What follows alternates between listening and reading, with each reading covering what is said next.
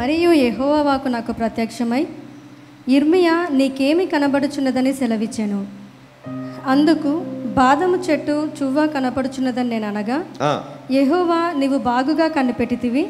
నేను చెప్పిన వాక్యమును నెరవేర్చుటకు నేను ఆతురపడుచున్నాను నేను రెండవ మారు యెహోవా వాకు నాకు ప్రత్యక్షమై రెండవ మారు యహోవా వాక్కు నాకు ప్రత్యక్షమై నీకేమి కనబడుచున్నదని సెలవీయగా?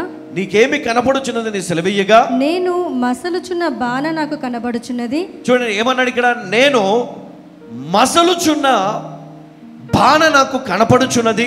దాని ముఖము ఉత్తర దిక్కునకు తిరిగి ఉన్నదంటే దాని ముఖము ఉత్తర దిక్కునకు తిరిగి ఉన్నది. అందుకు యెహోవా ఇలాగ సెలవిచ్చాను. అందుకు యహోవా ఇలాగూ సెలవిచ్చుచున్నాడు. ఉత్తర దిక్కు నుండి కీడు బయలుదేరి ఉత్తర దిక్కు నుండి కీడు బయలుదేరి ఈ దేశ నివాసులందరి మీదకి వచ్చును. ఈ దేశ నివాసులందరి మీదికి వచ్చును. ఇదిగో నేను ఇదిగో నేను ఉత్తర దిక్కుననున్న రాజ్యముల సర్వ వంశములను పిలిచెదను. ఉత్తర దిక్కుననున్న రాజ్యముల సర్ప వంశములను పిలిచెదను.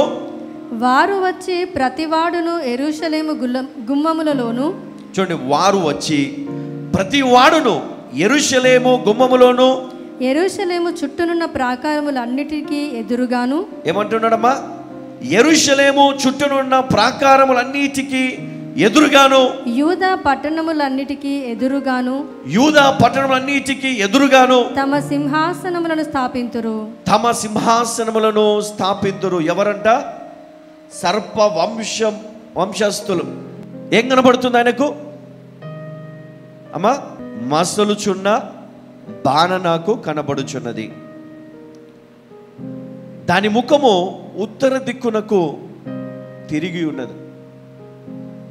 దానికి అర్థం ఏంటి? ఉత్తర దిక్కు ఈ మస్సులుచున్నటువంటి బాణ. మరి ఒక గొప్ప నాశనము వారి కొరకు పొంచి ఉన్నది. అయితే అయితే దేవుడు ఇరిమియాకి చెప్తున్నాడు. పదహారు. అప్పుడు ఎరుషలేము వారు అప్పుడు ఎరుషలేము వారు నన్ను విడిచి అన్యదేవతలకు ధూపము వేసి తమ చేతులు రూపించిన వాటికి నమస్కరించుట అను తమ చెడుతనం అంతటిని బట్టి. నేను వారిని గూర్చిన నా తీర్పులు ప్రకటింతును. చూడండి వారు చేసినటువంటి పనులు. అంటే ఈరోజు కనుక మనం ఒకవేళ ఆలోచన చేస్తే అంటే ఆనాడు జరిగిన వాటిని మరి మనం ఈరోజు జ్ఞాపకం చేసుకుంటున్నాం. కేవలం జ్ఞాపకం చేసుకుంటున్నాం. అయితే ప్రస్తుత పరిస్థితి ఎలా ఉన్నది అంటే ప్రస్తుత పరిస్థితి కూడా అలాగే ఉన్నది. ఒకవైపు దేవుని ఉగ్రత ఒకవైపు దేవుని హెచ్చరిక ఒకవైపు సంఘాల్లో ఉపవాస ప్రార్థనలు ఒకవైపు కుటుంబాల్లో సమస్యలు ఆ కుటుంబాల్లో గొడవలు రాజకీయాలు ఒకరి మీద ఒకరికి ద్వేషము కుళ్ళు పగలు. మరి ఇవన్నీ కూడా ఏం చేస్తున్నాయి అంటే దేవుని యొక్క నీతిని అర్థం చేసుకోలేకపోతున్నారు. దేవుని యొక్క పరిశుద్ధతను ఆయన నియమించిన సత్య వాక్యమును అర్థము చేసుకోలేకపోతున్నారు. అయితే దేవుడు ఈరోజు ఆ పనిని ఎవరికి అప్పగిస్తున్నాడు తెలుసా? మనందరికి అప్పగిస్తున్నాడు. దేవుడు ఈ పనిని అప్పగిస్తున్నాడు. మరి మనం ఏం చేస్తాం? మనం ఏమి చేయాలి? ఏమి చేయగలుగుతాం? ఆనాడు దేవుని ఉగ్రత నుండి ఎవరు కూడా తప్పించుకోలేకపోయినారు. యహోశివ సమయంలో కూడా మనం చూసినట్లయితే మరి యహోశివ తానంతట ఏమీ తప్పు చేయలేదు ఒక నాయకునిగా. కానీ యూదులలో ఒక వ్యక్తి చేసినటువంటి తప్పు వల్ల మరి దేశము విజయాన్ని కోల్పోయింది. ప్రజలు అవమానమును మూటగట్టుకున్నారు. మరి దుఃఖపడుచు మరి దేవుని దగ్గర వారు మొరపెట్టారు. మరి దేవుడు వారి మాట విని వారికి జవాబు ఇచ్చి ఉన్నాడు. మరి ఆ జవాబును బట్టి వారు ఏం చేశారు? తిరిగి మరి దేవుడు చెప్పినట్లుగా చేసినప్పుడు తిరిగి వారు విజయమును చూశారు. మరి ఈరోజు మన జీవితంలో కూడా అనేకమైనటువంటి పోరాటాల మధ్యలో మనము ప్రయాణము చేస్తూ ఉన్నాం. దేవుడు మనల్ని అడుగుతాడు. ఏమని అడుగుతాడంటే అయ్యా నేను నీకు ఒక బాధ్యతని ఇచ్చాను కదా. మరి ఆ బాధ్యత నువ్వు సరిగా నిర్వహిస్తున్నావా? నువ్వు సరిగా నీ కుటుంబాన్ని చూసుకుంటున్నావా? నీ భార్యను ప్రేమిస్తున్నావా? నీ బిడ్డలను పోషిస్తున్నావా? నీ కుటుంబాన్ని సంరక్షిస్తున్నావా? ఈ బాధ్యతను నువ్వు తీసుకొని చేస్తున్నావా? భర్త అంటాడు భార్య కట్నం తేలేదు అందుకని నేను పోషించట్లేదు అంటున్నాడు. భర్త. భార్య అంటుంది భర్త ఏమి తీసుకురావట్లేదు? వండడానికి లేదా ఇంట్లోకి ఏం తేయట్లేదు బాధ్యత తీసుకోవట్లేదు. కాబట్టి నేను కూడా ఏం చేయట్లేదు? అని ఆమంటుంది పిల్లల్ని అడిగితే పిల్లలు మీరు ఎందుకు చదవట్లేదు? ఎందుకు మీరు మీ తల్లిదండ్రుల మాట వినట్లేదంటే మరి వారు మాకేం చేసి పెట్టట్లేదు కదా? మేము అడిగింది ఇవ్వట్లేదు కదా? మరి మమ్మల్ని వాళ్ళు సరిగా చూడటం లేదు కదా? మనం ఎలా వింటాము? అని వాళ్ళు అంటున్నారు. అంటే బాధ్యత మరిచిన భర్త బాధ్యతను మర్చిన తండ్రి బాధ్యతను మర్చిన తల్లి బాధ్యతను మర్చిపోయిన పిల్లలు. సో ఈ కుటుంబంలో ఏమీ లేదంటే బాధ్యత లేదు. ఎవరికి ఎవరి పట్ల. అంటే ఈ కుటుంబంలో సీరియస్ అయినటువంటి వ్యక్తి ఎవరైతే ఉంటారో వారు దేవుని మాట వినాలి. వాక్యానికి కట్టుబడి ఉండాలి.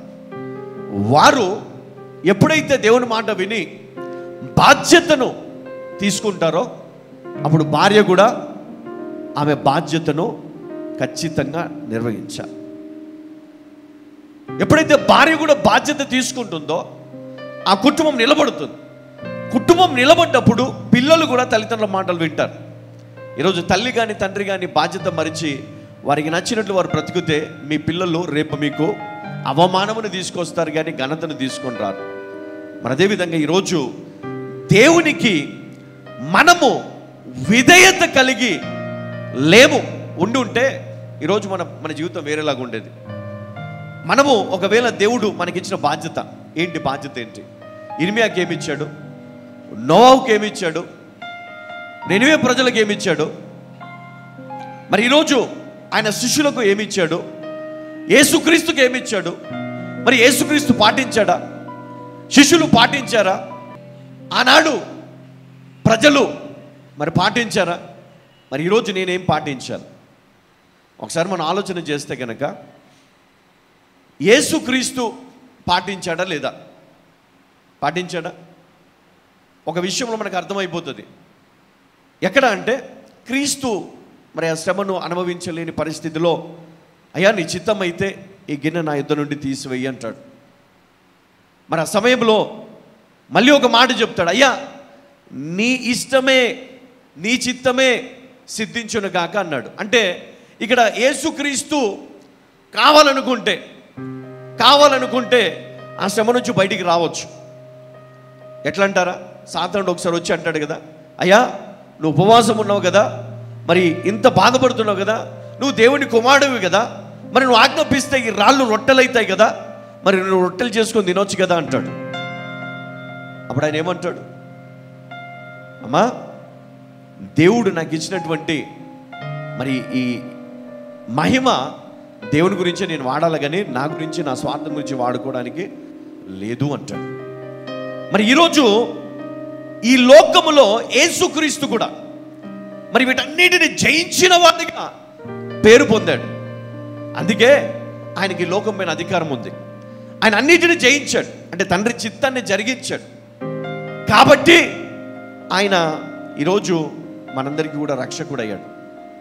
కాబట్టి క్రీస్తేసు నామములో మనకు విమోచన ఉన్నది రక్షణ ఉన్నది పాప క్షమాపణ ద్వారా తండ్రి దగ్గర మనకు ఏమి దొరికిందంటే మనం కోల్పోయినటువంటి ఆ సంబంధం ఏదైతే ఉందో తిరిగి క్రీస్తు ద్వారా తిరిగి ఏర్పరచబడింది. ఆ సంబంధం సహవాసం మన కోల్పోయిన సహవాసం క్రీస్తు ద్వారా ఆ సహవాసం తిరిగి మనం పొందుకున్నాం.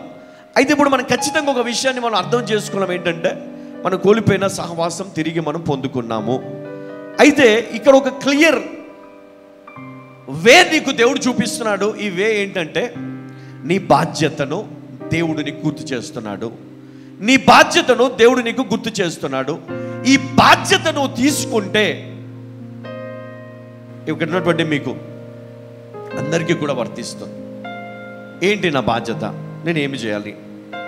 సో ఇర్మియాకి ఏం చెప్పాడు? కొన్ని కొన్ని వచనాలు మనం చదువుకున్నాక తర్వాత మన గురించి మనం ఆలోచన చేద్దాం. చదవమ్మా. కాబట్టి నీవు నడుము కట్టుకొని నిలువబడి కాబట్టి నీవు నడుము కట్టుకొని నిలువబడి నిలువబడి నేను నీకు ఆజ్ఞాపించినదంతయు నేను నీకు ఆజ్ఞాపించినదంతయు వారికి ప్రకటన చేయుము. వారికి ప్రకటన చేయుము. భయపడకుము. భయపడకుము. లేదా నేను వారి ఎదుట నీకు భయము పుట్టింతును. ఏమన్నాడు? నువ్వు భయపడొద్దు. ఒకవేళ నువ్వు భయపడితే నేను వారి ఎదుట నీకు భయము పుట్టింతును. సో ఈరోజు పరిస్థితి ఎలా ఉందంటే సేవ చేయమని దేవుడు నీకు చెప్పాడు. సరే నువ్వు ఏమన్నావు? డబ్బులు లేవు డబ్బులు ఉంటే నేను సేవ చేస్తా. మరి దేవుడు యేసుక్రీస్తు ఏమన్నాడు? ఇదిగో మీరు వెళ్ళేటప్పుడు మరి రెండు అంగీలు కానీ లేకపోతే మీరు మీకు కావాల్సినవి కూడా తీసుకొని పోవడానికి లేదు. మీరు చేయాల్సింది ఏంటి? పనివాడు జీతమునకు పాత్రుడు అని చెప్పాడు. అంటే నువ్వు వెళ్ళి నువ్వు పని చేస్తే జీతము ఎక్కడి నుంచి వాళ్ళు అక్కడి నుంచి నీకు వస్తుంది నేను నిన్ను పోషిస్తాను అని చెప్పాడు. మరి అదేవిధంగా వెళ్ళారు. దేవుడు వాళ్ళని పోషించాడు. దేవుడు వారిని ఆదుకున్నాడు. అన్ని విషయాల్లో మరి మేలు జరిగింది. మరి ఆనాడు ప్రవక్తలు ఎలా బ్రతికారో మనకు తెలుసు. దేవుడు వారిని ఎలా పోషించాడో మనకు తెలుసు. మరి ఈనాడు కూడా కొంతమంది సేవకులను దేవుడు ఎలా పోషిస్తున్నాడో మనము మరి మనము ఆలోచన చేసి మనం తెలుసుకోవాలి. దేవుడు మనను ఎలా పోషిస్తాడు? ఎలా పోషిస్తాడు? దేవుడు అంటాడు మీరు పిచ్చుల కంటే శ్రేష్ఠులు కదా. మరి వాటిని పోషిస్తున్నా నేను మిమ్మల్ని పోషించలేనా? తప్పకుండా పోషిస్తాను. మరి మనం నమ్ముతున్నామా దీన్ని? విశ్వాసం పెడుతున్నామా ఇక్కడ ఈయన చెప్తున్నాడు కాబట్టి నీవు నడుము కట్టుకొని నిలువబడి నేను నీకు ఆజ్ఞాపించినదంతయు వారికి ఏం చేయమన్నాడు? ప్రకటన చేయుము. భయపడకుము. లేదా నేను వారి ఎదుట నీకు భయము పుట్టింతును. తర్వాత పద్దెనిమిదో వచనం. యూదా రాజుల యొద్దకు గాని ఏమన్నాడు? యూద రాజుల యొద్దకు గాని గాని ప్రధానుల యొద్దకు గాని యాజకుల యొద్దకు గాని. దేశ నివాసుల యొద్దకు గాని. ఈ దేశమంతటిలో నీవెక్కడికి పోయినను ఈ దేశం అంతటిలో నువ్వు ఎక్కడికి పోయినను ప్రాకారము గల పట్టణముగాను ఏమన్నాడు ప్రాకారము గల పట్టణముగాను ఇనుప స్తంభముగాను ఇనుప స్తంభముగాను ఇత్తడి గోడలుగాను నీవుండునట్లు ఇత్తడి గోడలుగాను నీవుండునట్లు నీ ఉండునట్లు ఈ దినమున నిన్ను నియమించి ఉన్నాను. ఈ దినమున నిన్ను నియమించి ఉన్నాను. చూడండి దేవుడు నియమిస్తే దేవుడు నియమిస్తే ఎవ్వడు కూడా నిన్ను పడేయలేడంట. హలోయ దేవుడు నిలబెడితే ఎవడి మాట నిన్ను ఏమి చేయలేదు. మాటలు మాట్లాడతారు చంపాలని చూస్తారు నిన్ను నాశనం చేయాలని చూస్తారు అబద్ధ సాక్ష్యం చెప్తారు నీ పైన నిన్ను ద్వేషిస్తారు. పగ పెంచుకుంటారు అవమానిస్తారు నిన్ను కృంగదీస్తారు నిన్ను అనేక రకాలుగా హింసిస్తారు. ఆయన నువ్వు ఏం చేయాలి? నిలబడాలా? ఎస్ నిలబడాలా? ఏమన్నాడు? ద్రాక్షవల్లిని నేను మీరు తీగలు మీరు నాలో నిలిచి ఉండండి అన్నాడు. మీరు నాలో నిలిచి ఉండి మీరేం చేయాలా? మీ నోట నా మాట ఉండాలా? ఎప్పుడైతే నా మాట మీ నోట ఉంటుందో మీరు అప్పుడు ఏది అడిగినా నేను అది మీకు ఇస్తాను. మరి ఈ మాట మనం విన్నాం కదా? మత్స్యవార్త పదిహేను అధ్యాయము ఐదు వచ్చినం మొదటి నుంచి మనం చూసినప్పుడు మరి ఇక్కడ అనేకమైనటువంటి సత్యాలు మనం విన్నాము నేర్చుకున్నాము కూడా. అయితే నేను మీకు జ్ఞాపకం చేసే విషయం ఏంటంటే దేవుడు నీకు ఇచ్చిన బాధ్యత అది నీ కుటుంబమైనా అది పరిచర్య అయినా అది ఏదైనా దేవుడు నీకు ఇచ్చాడు అంటే ఆయన నిన్ను కాపాడడానికి సిద్ధంగా ఉంటాడు. హల్లెలూయ నిన్ను పోషించడానికి సిద్ధంగా ఉంటాడు. నిన్ను ఆదుకోవడానికి సిద్ధంగా ఉంటాడు. నీవు నోరు తెరిచి దేవా నాకు సహాయము కావాలి అని నువ్వు మొరపెడితే దేవుడు నీకు సహాయము చేస్తాడు. నీవు అడిగిన వెంటనే దేవుడు నీ మార్గములన్నీ కూడా సరళము చేస్తాడు. నిజంగా ఇది కనుక నువ్వు నమ్మితే ఈరోజే నువ్వు అద్భుతం నీ జీవితంలో చూడగలవు. ఈరోజే మార్పు నువ్వు పొందగలవు. నీ జీవితంలో నీ ఊహించని విధముగా అద్భుతమైనటువంటి మేలులెన్నో దేవుడు నీకు చేయగలడు. అలా